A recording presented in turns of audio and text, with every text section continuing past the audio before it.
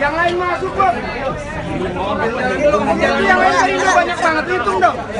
Hitung dong. Hitung dong.